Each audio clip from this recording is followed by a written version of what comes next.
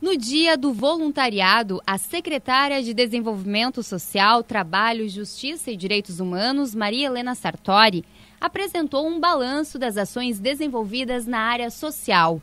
Graças às parcerias, esforço e dedicação de órgãos do governo, entidades e instituições, o Estado teve avanços significativos. As grandes parcerias que nós fizemos foram essas parcerias realmente de solidariedade. Né? Todos que participaram do Escolha Destino fizeram de uma forma voluntária, convencendo as pessoas, conversando com as pessoas. Lá nas entidades que recebem também tem todo um trabalho voluntário também para a estrutura dessas entidades. Boa parte de quem trabalha nas entidades são pessoas também voluntárias.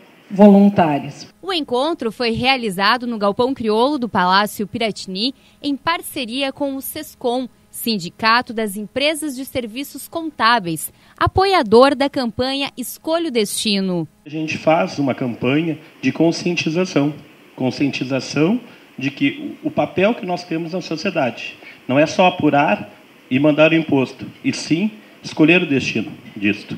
E também ver a aplicação disso, que é o nosso pro projeto de gestão pública eficaz o governador José Ivo Sartori destacou que o Estado deve estar voltado para as pessoas. Gratidão pela parceria de vocês.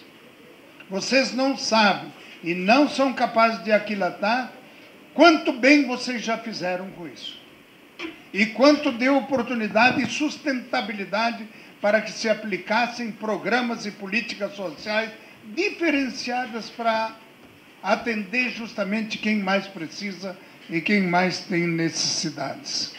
Eu acho que isso ajuda a construir o futuro das novas gerações e o futuro do nosso Estado.